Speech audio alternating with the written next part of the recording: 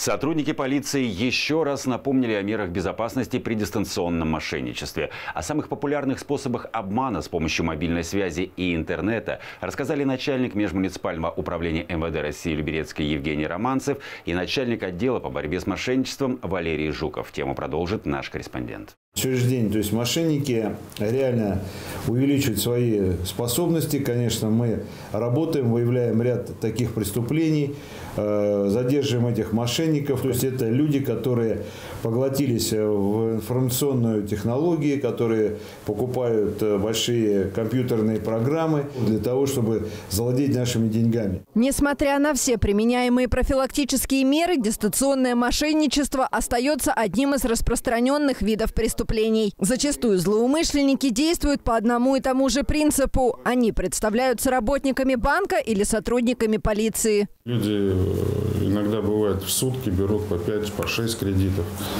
Ну, в общем, в каких банках одобрили, э, в тех и возьмут. Поэтому э, хотел бы, чтобы предупредить э, наперед. Естественно, сначала нужно позвонить близким знакомым, так? Это первое. Второе, обратиться незамедлительно в отдел полиции, дабы не допустить дальнейшего развития событий и не довести дело до преступления.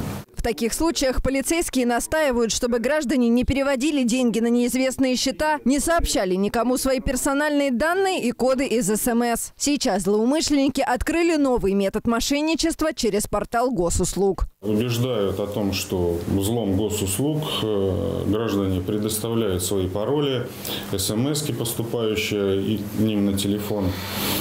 А э, мошенники, которые вошли в личный кабинет э, потерпевшего, могут сами уже где-то оформить. Ну, то есть подать заявку на микрозайм, подать заявку в банк на получение э, какого-то кредита, займа и уже указывать сведения, куда нужно перевести деньги.